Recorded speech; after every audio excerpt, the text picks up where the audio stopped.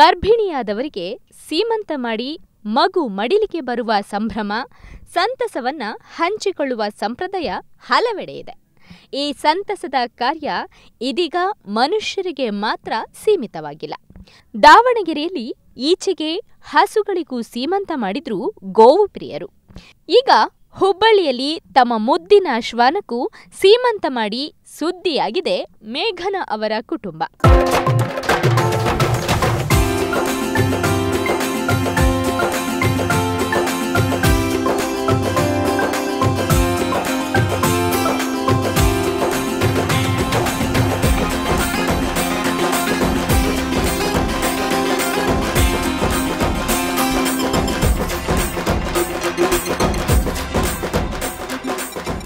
ಹುಬ್ಬಳ್ಳಿಯ ಮೇಘನ ತಮ್ಮ ಮನೆಯ ಸಾಕುನ ಈ ಸೂಫಿಗೆ ಸೀಮಂತ ಕಾರ್ಯ ನಡೆಸಿದ್ದಾರೆ.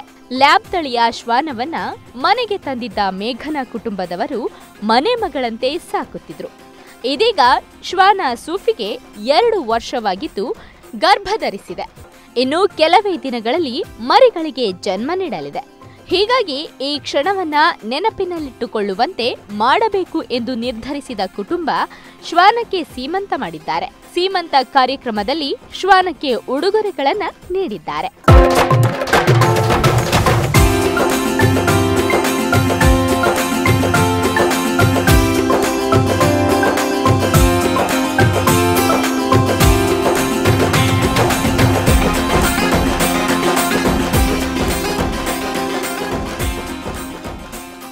ಕಾರ್ಯಕ್ರಮಕ್ಕೆ ಒಂದಷ್ಟು ಜನ ಸೇರಿದ್ದು ಶ್ವಾನಕ್ಕೆ ಸೀರೆ ಒಡಿಸಿ, ಮಡಿಲು ತುಂಬಿ, ಹಣೆಗೆ ಕುಂಕುಮವಿಟ್ಟು ಹಾಡು ಹೇಳಿ ಹೂವಿನ ಹಾರ ಹಾಕಿ ಸಿಂಗಾರಗೊಳಿಸಿದ್ರು.